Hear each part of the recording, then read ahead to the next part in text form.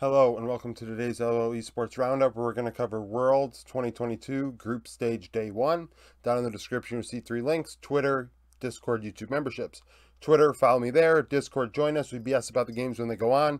Um, getting a little toxic with Worlds starting, but we're going to probably write that tomorrow. Um, yeah, so going to write that tomorrow. And then today, um, YouTube memberships, $3 supports me, $10 will uh, support me even further. Um, $3, you uh, get a badge in the comment section. $10, you get the badge in the comment section, plus you get extra content, including a video that will go out after this one. I will go over today's tonight's games, preview tomorrow's schedule, and then that members only video will be me predicting who I think is going to win these games. Um, I'm 27 and 13. I went 3 and 3 today. I wrong, right, wrong, right, right, wrong. So yeah, 3 and 3, so I'm 27 and 13. Um, but that'll be extra content as well as um, NFL American football content. I'll have a video going out tomorrow where I do my uh, predictions for winners of those games against the spread and over under. So now on to the games for today. Um, I just thought about it for a second when I was getting prepared. I'm like, if I was going to describe how each major region felt after this game, after today, how how would you describe it? Well, nobody is overly happy.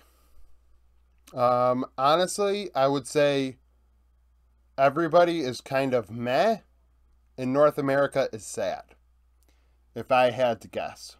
Um, so, C9 and Fnatic. Um, Fnatic come out strong with some play in buff. Uh, C9, uh, bad read, bad draft, terrible draft actually.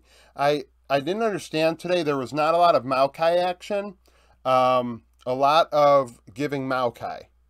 And I mean, blue side giving Maokai to red side or banning it themselves. And it's like, what are you doing? This champ is so OP right now. Triple flex. Like, what the hell? It just boggles my mind. Um, C9 blind picks um, Gen, uh, LeBlanc or LeBlanc or Fear. I forget which one was blind pick, but both in the last rotation, and it just made absolutely no sense. Just a draft that made really no sense. Fnatic wins. Humanoid 5, 2, and 4, 34% of damage. Upset 8, 0, and 5 at AD carry.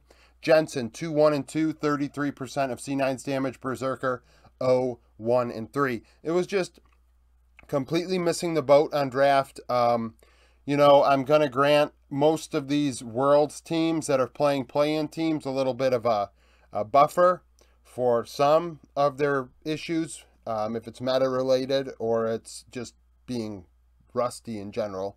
Um, I can't extend it to some and not all. That would make me ignorant. But um, I think that it uh, could have went a lot better. Could have went a lot better for C9.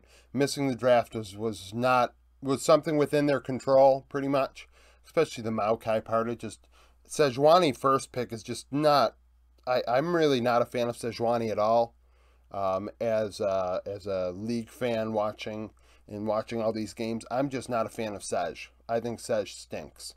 Um, I mean, if you're on red side and you're picking into Maokai or something because Maokai's gone, I mean, that's one thing. But first picking Sej just makes no sense. Um, G2 and Damwon. Damwon blow out G2. G2 missed the boat today. Um, Seraphine mid. We had rumors that there were support mids going around LPL scrims. Maybe G2 were part of those scrims. And um, that's where the Seraphine mid came from. Played Caitlyn Lux bot lane. Got blown off. Well, blown out, sorry. Um, Deokdam playing Jhin. Not all that great, but Damwon's Nuguri in top lane on the Camille dominated, going 3 2 and 8, 28% of damage. Showmaker 8 0 and 4 in mid. Flakked at 5 3 and 2 on that. Caitlyn for G2, 29% of damage. Broken Blade 2 3 2 on the Ornn. G2 just missed. Completely swung and missed, and this comes off of swinging and missing at LEC finals. Obviously, like I said, we got to give some teams a break. Day one, figuring out what they want to do. Um, We'll see more teams tomorrow. Uh, the LPL teams today, the three that went, did not pick really um, all that supportive of mids, but uh, it looks like TES might have been the team that was playing some supportive mid action. If you look at um, Knights uh, Champions Queue and Solo Kill champion pools that he's been playing with, but other than that, I mean, it just didn't work. And the thing is with G2, you can't put all your eggs in the Flakked basket. Flakked is not your best player. It is Caps, and uh, they they completely missed. Uh, upset CFO over 100 Thieves, at least I consider an upset a minor region over a major region. Um, Mission 119, 38% of damage. Shunn 10 0 and 1 at AD carry. Um, FBI 2 4 and 4, 31% of damage for 100 Thieves. Abbedagge, 3 2 and 1. Another game where we saw an early Sejuani pick for absolutely no reason. It was just, it just boggles my mind. Fiora top Ssumday. I mean, come on, man. This really isn't isn't going to work. I know that into Aatrox is oftentimes used as a skill matchup counter, but let's be real. We need to be a little more realistic. Um, and the thing is, Closer is probably the best player on the team. So putting Closer on Sejuani sucks. At least it feels. I mean, when I see it, it sucks. It's like, what are you doing? Um, this is your best player. You cannot put him on Sej if you want to win this game. Um, the Viego for Gemini was really good. I believe he played Viego. Um, it's hard to overlook Kanavi's Viego, which we'll get into. But um, CFO just won outright. This one outright. 100 Thieves are definitely the weakest Western team. I'm hoping that they can now split against CFO. I went in my predictions yesterday. I mean, I'd be pretty embarrassed if I lost and 100 Thieves lost. And did not lose in a good way. They lost in a bad way. So, um, not a lot really nice to say about that one.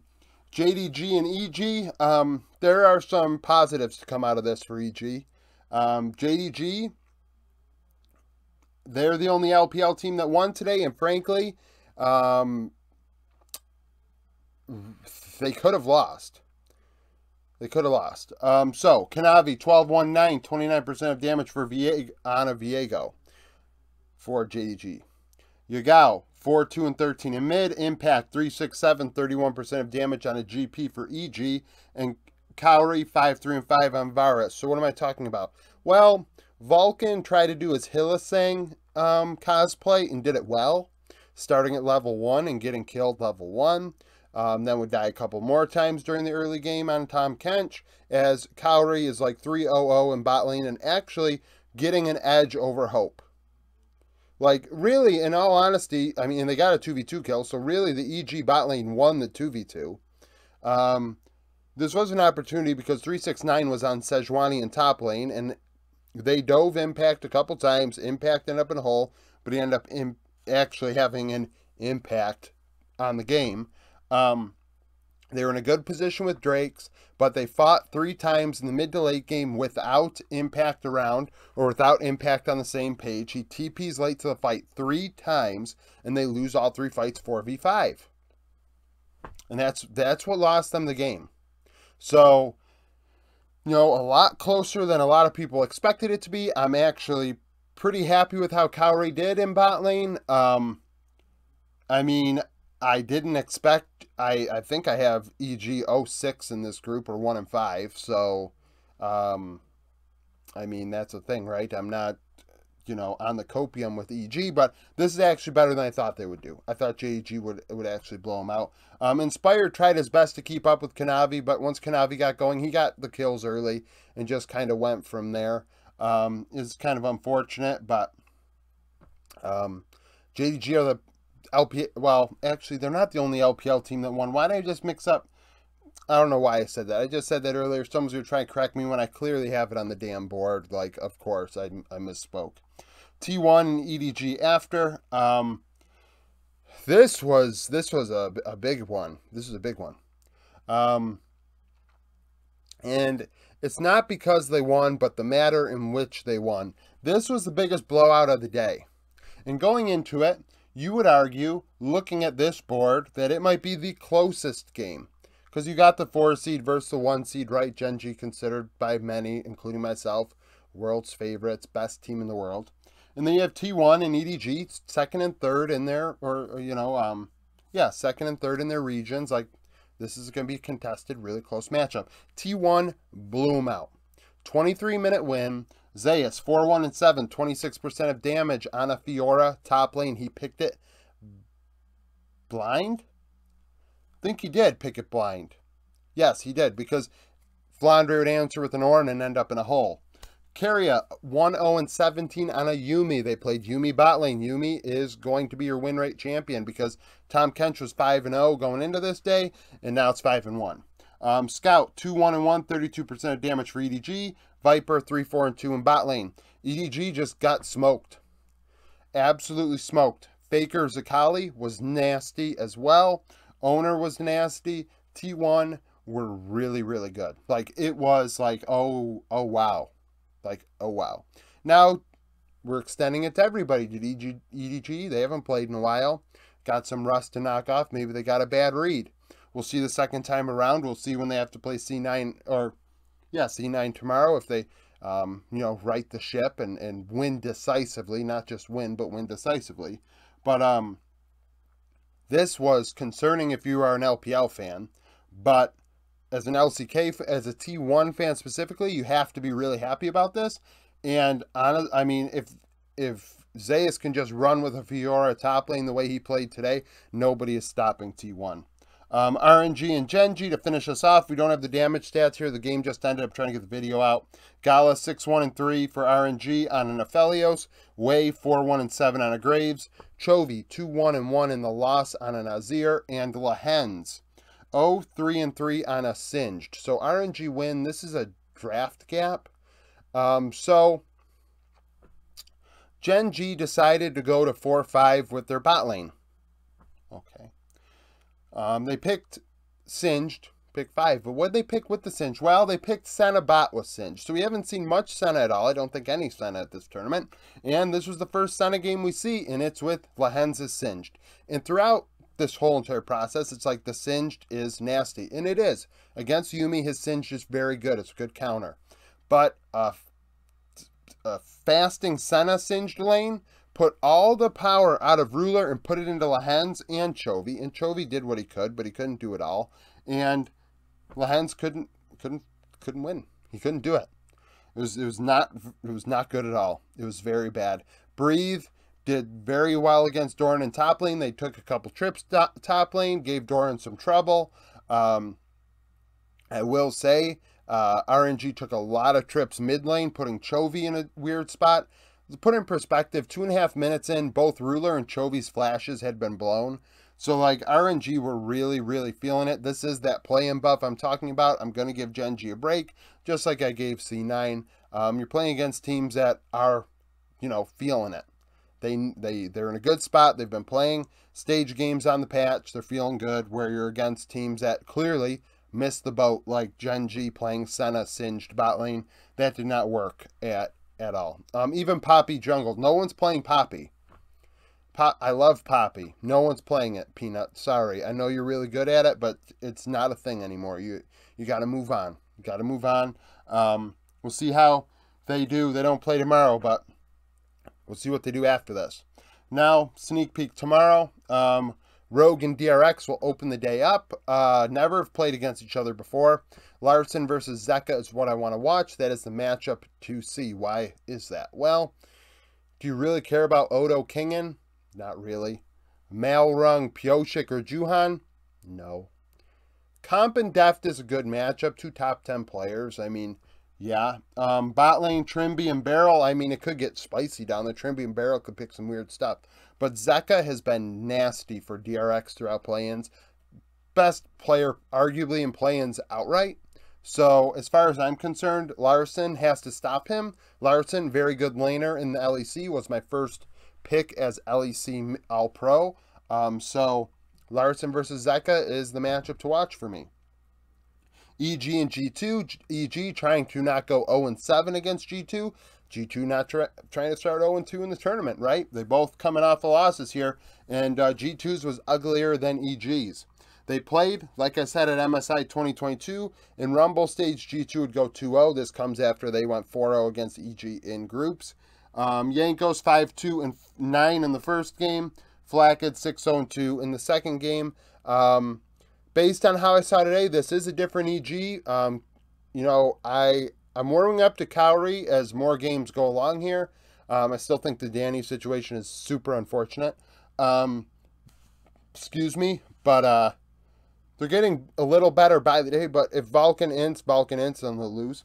Um, I wrote it down here because I forgot there and I wasn't going to erase this. Jojopyun and Caps is what I want to watch. Um, I mean, that mid lane matchup, see if JoJo can stack up. Caps did not look good today on the Seraphine, but Seraphine is not something you want caps on.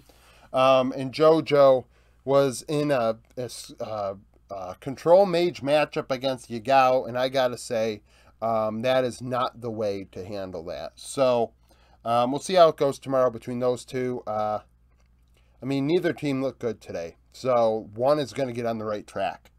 Fnatic and T1, Worlds 2019 was the last time they played.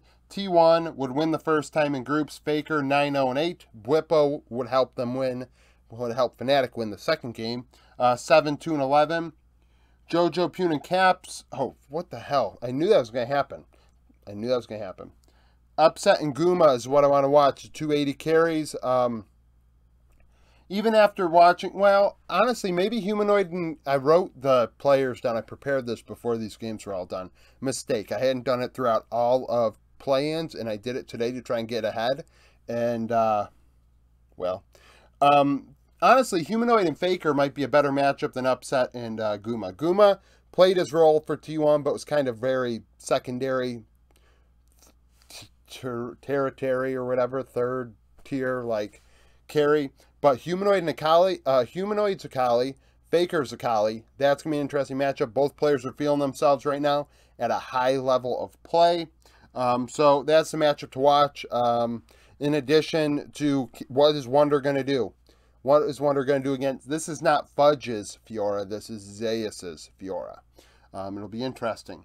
EDG and C9. Um, EDG trying to right the ship. C9 trying to get a win. Um, last time they played was Worlds 2017. If you recall, that was the year that C9, EDG, and T1 were in groups together. Jensen would go 6-2 and 4 the first time they played and in the win. So Jensen 6-2 and 4 against Scout. Clearlove, throwback name, right? Went 7-2 and 13 for EDG the second time they played. Flandre versus uh, Fudge is what I want to watch. Oh, why did I write Good God Almighty. You can tell when I wrote that. Why would why else would I have Flandre and Zeus up there? I am off my rocker. Wow. Wow. I C9 wishes, right? This is why you know that these videos aren't edited. Um, oh, Jesus. Well, hmm. Scout looked okay. I mean, I'm going to put Fudge here because, I mean, I'm not erasing Flandre. I really don't know. Like, EDG sucked today. Like, the way they got blown out. What positive things can EDG take from today? And what positive things can C9 really take? Zven stole a couple of Berserker's kills, kind of screwed everything up, to be honest with you, because C9 was kind of active in the early game. And if those two kills, that 1,000 gold goes to Berserker instead of Zven, maybe the game's a little different. Um, so EDG and C9, um, C9 has their work cut out for them, pretty much. Uh, Top and GAM Esports never have played against each other. This is uh, two seed from LPL against one seed from Vietnam. Um, Tian and Levi is what we want to watch. So Tian, in many eyes, the best jungler in the world. In my opinion, I have him second behind um, Kanavi. But nevertheless, Tian is cracked, right? So we all, a lot of people know Tian, but not a lot of people know Levi, right? If you don't pay attention to minor regions or you're not a longtime fan of League of Legends, um, Levi has been one of the better players in Vietnam for a long time. Um, had a stint in the LCS, never really was able to make it, um, and went back to Vietnam and continues to dominate. Has a lot of weird and different picks. Um, this team was extremely cracked in spring, but chose to go to the Southeastern Asia Games in well Southeastern Asia Games, yes, SEA Games, right? Yeah, um, and went there instead of MSI, which sent Saigon Buffalo the second seed from the VCS to MSI. Um, and GAM would just completely run over everybody at that tournament, like Malaysia's team, Thailand's team, and this and that, like a bunch of players we don't know, right? Um, but the fact is, this team has like real pop off potential. I think it has to be respected. It is not like CFO. It is it is better than CFO. So That game is a trap game as far as I'm concerned for top. Um, Vietnamese teams, eh, I've, I've heard many rumors throughout the whole process, even towards the end of the regular split, that Vietnamese teams were scrimming JDG and other top LPL teams and being competitive, taking games off them in scrims. If that is the case, this is a real game here. This is not this is not a joke. Um, DK and uh, JDG finish us off. Um, both coming off of wins. Damwon very decisive, JDG not so much. Last time they played was Worlds 2020 in groups. Showmaker 6 0 and 11 on a Twisted Fate, I believe. And then Zoom would go 12 6 and 6 for JDG on a Camille, I think. Um, Canyon versus Kanavi. Both want to play carries. All of a sudden, this carry meta's coming in here. We saw a lot of Graves and Viego today.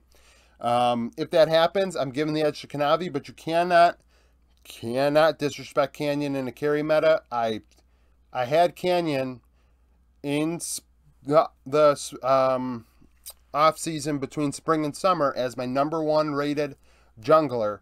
Personally, in my opinion, going into summer, that has changed. I have a Kanavi, Tian, and um, Sadara, and I'm, I'll update that, I guess, in December sometime or, or late November. Um, but the point is, this meta is is very good for those two players, and I think that right now, the way that Damwon looked, JDG cannot play the way they did today. If they play the way they did today, Damwon's going to crush them. They looked so dominant today. Um, and Canyon versus Kanavi is an elite matchup we have to follow, just like Inspired Kanavi today. You have to respect really, really, really talented players in the same role against each other. And um, I know Nuguri 369 is a nice matchup to think about, but I think it is still in the jungle between Kanavi and his opponent. That is something to really watch. So, thank you for watching this video. Like the video if you like it, subscribe to the channel for daily League of Legends content. Follow me on Twitter, join the Discord, become a YouTube member, and thank you for watching.